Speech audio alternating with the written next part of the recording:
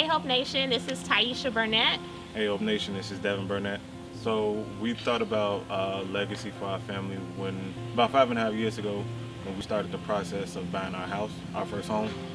Uh, we wanted to establish somewhere for the girls to always come back to and purchasing the house is kind of that that marker where you know whatever happens when they get older they can always come back uh, to, to the home that they grew up in.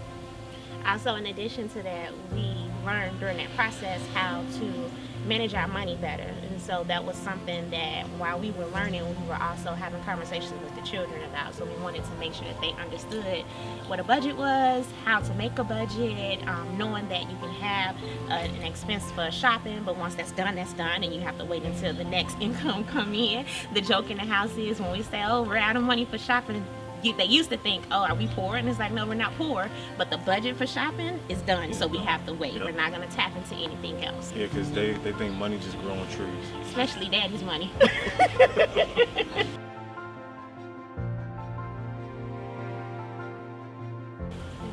uh, so one thing we've done, um, we've established, you know, life insurance for everybody, uh, private and through through our jobs.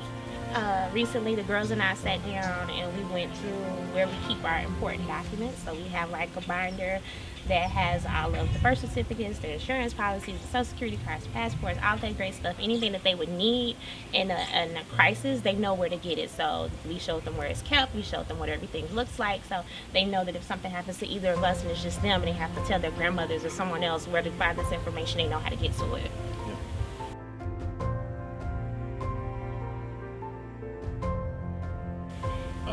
One thing, and I, I credit Tiesha for this, uh, just having those open conversations uh, with the kids and with everybody, just regardless of what it is, good, bad, uh, just having that open dialogue with our family and with our girls. Uh, and it's translated to, you know, our parents, you know, their grandparents, just having that open conversation. Uh, so there's one thing that, you know, I love, as well as, you know, we have a, a tight-knit family. We have those family gatherings, whether it's holidays, birthdays, you know, we don't really need a specific reason to get together. We just get together. And I just want that to continue and I love that about our family. Because it's so important to just be able to get together as family and it's not about the gifts at all. It's definitely all about that fellowship with each other and just having a great time in each other's presence.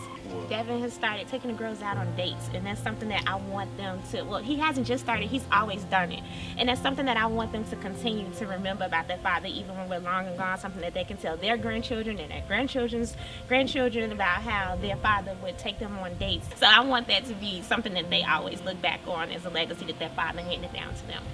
this, this, is, what, what legacy, legacy means to us. us.